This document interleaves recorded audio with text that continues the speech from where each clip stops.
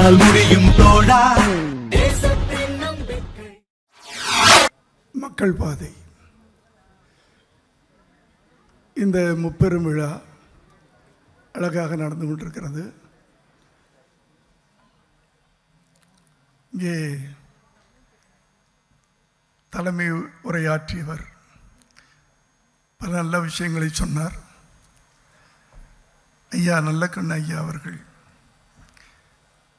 அவரும் பல விஷயங்களை உங்களுக்கு எடுத்து கூறினார். நானும்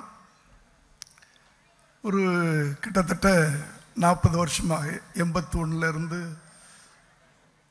நாற்பது வருஷமாக என் படங்கள் மூலமாக நாட்டில் நடக்கின்ற தவறுகளை சுட்டிக்காட்டி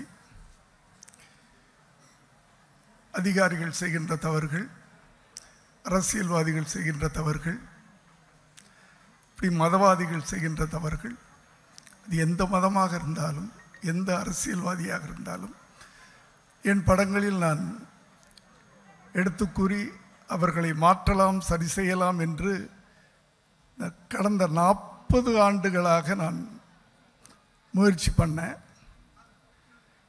ஆனால் இப்போ எனக்கு தோணுது இந்த மேடையை பார்த்த பிறகு சரி செய்ய வேண்டியது அவர்களை அல்ல. ஏன்னா அது முடியாத காரியம். சரி செய்ய வேண்டியது இளைஞர்களை.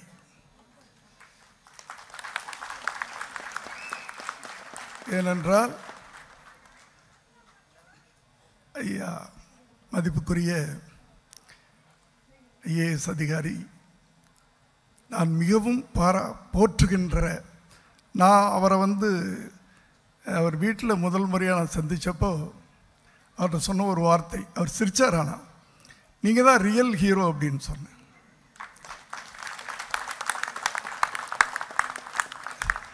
படத்தில் நடிக்கிறவங்கெல்லாம் அது பொம்மை ஹீரோக்கள். நீங்கள் தான் ரியல் ஹீரோன்னு சொன்னாங்க அப்படிலாம் ஒன்றும் இல்லை. நான் வந்து ஒரு நேர்மையான அதிகாரி அப்படின்னு தன்னை ரொம்ப தாழ்மையாக சொல்லிக்கிட்டாரு. ஆனால் மக்கள் பா பார்வையிலே நீங்கள் உண்மையிலேயே you are a hero sir super hero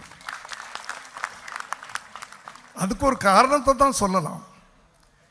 எந்த ஒரு அதிகாரியும் அந்த கட்டத்தில் ராத்திரி நேரத்தில் அந்த இடத்துல கட்டிலை போட்டு கைத்து கட்டல்னு சொன்னாங்க. உண்மையாக பொய்யான்னு எனக்கு தெரியாது. அந்த கட்டிலை போட்டு படுக்கிறதுக்கு எந்த ஒரு அதிகாரிக்காவது தைரியம் வருமா? உண்மையில் சினிமா ஹீரோவாக இருந்தால் நூறு பேர் வந்தாலும் அடித்து தூக்கிட்டு அப்படி நிற்பார் அவர். அவர்கிட்ட அந்த ஆயுதம்லாம் இல்லைன்னு நினைக்கிறேன். மனசுக்குள்ள நேர்மை என்ற ஒரு ஆயுதத்தை வைத்துக்கொண்டு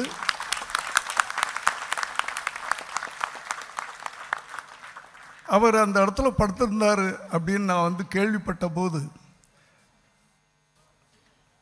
ஏன் இப்படிப்பட்ட நல்லவர்கள் தமிழ்நாட்டை வழிநடத்தக்கூடாது என்று நினைத்தேன். ஆனால் அவர் மக்கள் பாதையை ஒரு இயக்கத்தை ஒரு இளைஞர்கள் எல்லாம் குடியிருக்கின்ற ஒரு இயக்கத்தை வழிநடத்தி கொண்டிருக்கிறார். ஆகவே அந்த இளைஞர்களிடம் நான் கேட்பது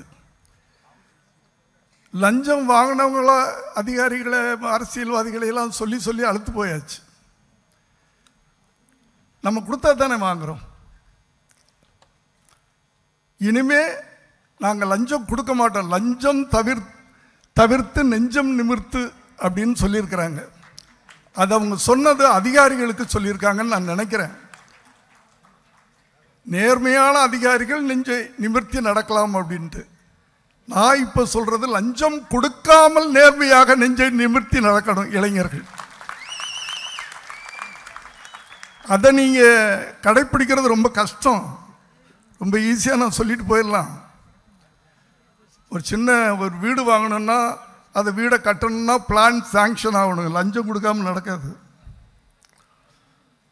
இல்லை அந்த லேண்டை வாங்கினவுடனே பட்டா வாங்கணும். அந்த லேண்டுக்கு லஞ்சம் கொடுக்கலன்னு நடக்காது. நான் சும்மா லஞ்சம் கொடுக்க வேணாம். லஞ்சம் கொடுக்காதீங்கன்னு சொல்லிட்டு போயிடலாம் நீங்களும் கைதட்டிட்டீங்க. ஆனால் அதை நடைமுறையில் செயல்படுத்துறது வந்து இந்த இன்னைக்கு வழக்கறிஞர் அணி இங்கே ஆரம்பிச்சிருக்கிறாங்க. அவர்கள் துணையோடு நீங்கள் இனிமேல் நாங்கள் லஞ்சம் கொடுக்க மாட்டோம். சின்ன விஷயத்திலிருந்து பெரிய விஷயம் வரைக்கும். அதை நீங்கள் நடைமுறைப்படுத்தினீங்கன்னா லஞ்சத்தை ஒழிக்கலாம். நீங்கள் நெஞ்சு நிமிர்ந்து நடத்தல நடக்கலாம். இதான் எனக்கு தோன்ற ஒரு ஒரு விஷயம். லஞ்சம் வாங்குறவங்களே நம்ம பழி சொல்லிக்கிட்டு இருக்கிறோம். நம்ம கொடுத்தா தானே அவன் வாங்கணும். கொடுக்க மாட்டோம். நீ என்ன பண்ணுவேன் எனக்கு இது நடக்கணும். நடக்கலைன்னா நான் எப்படி பார்க்கணுமோ அந்த நடத்தப்பட வேண்டும். அதுக்கு இந்த அமைப்பு உறுதுணையாக இருக்கணும். ஒவ்வொரு ஊர்லேயும் இந்த அமைப்பு ஒரு வழக்கறிஞர்களுடைய வழிகாட்டுதின் பேரில் ஒவ்வொரு மாவட்டத்தில் முதல்ல ஆரம்பிப்போம். ஆரம்பிங்க. உங்களுக்கு என்ன நடக்கலையோ அந்த அமைப்பிட்ட போய் சொல்லுங்கள் அவங்க அதை லஞ்சம் இல்லாமல் உங்களுக்கு நிறைவேற்றி கொடுக்க வேண்டியது அவர்களுடைய கடமை. முதல்ல இதை பண்ணுவோம் நம்ம. இதை பண்ணால் நல்லா இருக்கும்னு ஐயா அவர்களை நான் நான் கேட்டுக்கிறேன். இப்படி கீழே இருந்து ஏன்னா ஒரு தலைவன் வந்து ஒரு பெரிய மாற்றத்தை உருவாக்க முடியும் அப்படின்னு நான் நினைக்கல. தொண்டர்கள் நினைச்சா முடியும். ஒரு பெரிய புரட்சியோ மாற்றமோ ஒரு தலைவன் நினைச்சா நடக்காது. தொண்டர்கள் நினைச்சா நடக்கும். இந்த ஜல்லிக்கட்டு போராட்டம் எப்படி நடந்துச்சு? அங்கே தலைவர்கள் கிடையாது.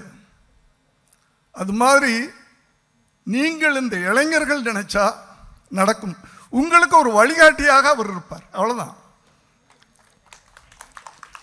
அவர் இருக்கணும். ஏன்னா அவர் பயப்படாதவர். ரெண்டு நாளைக்கு முன்னாடி யூடியூப்பில் ஒரு உங்கள் பேட்டி ரெண்டு பேருடைய பேட்டி பார்த்தேன் நான். ஏன்னா உங்களை அடிக்கடி ஃபாலோ பண்ணிக்கிட்டே இருக்கிறேன் உங்கள் பேச்சுக்கு. அதில் உங்கள் பேச்சை அடிக்கடி கேட்டிருக்கேன். இருபத்தி மூணு வருஷத்தில் இருபத்தாறு முறை ட்ரான்ஸ்ஃபர் ஆகிருக்கிறதா என்னமோ அப்படின்னு நினைக்கிறேன். எனக்கு கரெக்டாக தெரியல அது.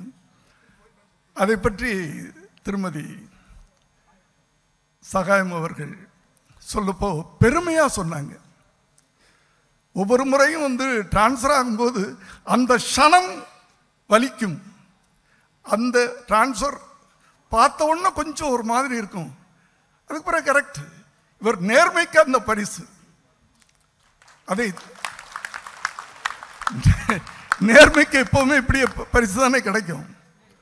அது அவங்களுக்கு பழகி போச்சு. எங்களுக்கு அது நான் பெருமையாக நினைக்கிறேன். கணவரை நினச்சி நான் பெருமைப்படுறேன் நான். இப்படி ஒரு மனைவி கிடைச்சதுக்கு நீ ரொம்ப கொடுத்து வச்சுருக்கணும். அந்த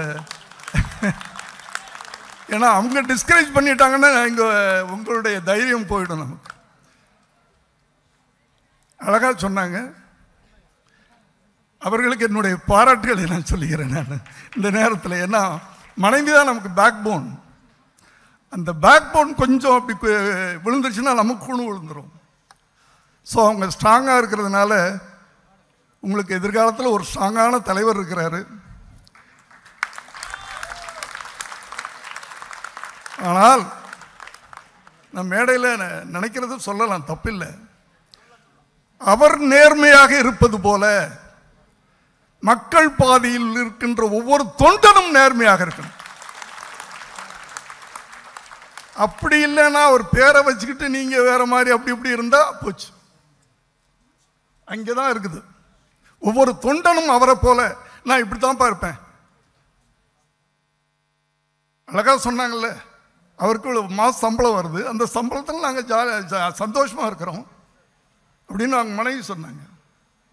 அதே போல் உங்களுக்கு இருக்கிறத வச்சு எந்த தொழில் பண்ணாலும் நேர்மையாக நீங்களே வந்து எதிர்காலத்தில் எலெக்ஷனுக்கு நின்று கின்னு ஏதோ வந்தால் அத்தனை இப்போ இரநூத்தி முப்பத்தி நாலு தொகுதின்றாங்க. அந்த தொகுதியில் நூற்றி எண்பது பேர் ஜெயிக்கிறீங்கன்னு வச்சுக்கோங்க. அந்த நூற்றி எண்பது பேரும் நாணயமாக நேர்மையாக இருந்தால்தான் உங்களால் ஏதாவது ஒரு ஒரு கல்லையாவது அசைக்க முடியும். ஏன்னா வந்து பேஸே இப்போ வந்து என்ன சொல்கிறது கொஞ்சம் நஞ்சம் கரப்டாக இருந்தால் நம்ம டப்புன்னு மாற்றிடலாம் டோட்டலாக கரப்டாகி அஸ்திவாரமே ஆடிக்கிட்டு இருக்கு ஸோ அதை கரெக்ட் பண்ணணும்னா நீங்கள் ஒவ்வொருத்தரும் உங்களுக்குள்ள ப்ராமிஸ் பண்ணிக்கணும். சும்மா மேடையில் ப்ராமிஸ் பண்ணுறது இதில்லை அவர் எப்படி அவர் உதாரணமாக எடுத்துக்கிறோம் அவர் பிள்ளை அவர் பிள்ளைகள் வந்து ஒவ்வொரு விஷயத்திலையும் ஒவ்வொரு முறை நீங்கள் உங்கள் வாழ்க்கையை நடக்கும் போதும் அவரை உதாரணமாக எடுத்துக்கிட்டு நீங்கள் வாழ்ந்தீங்கன்னா எதிர்காலத்தில் ஒரு பெரிய மாற்றத்தை உருவாக்க முடியும்னு சொல்லி நான் விடைபெறுகிறேன். நன்றி வணக்கம்.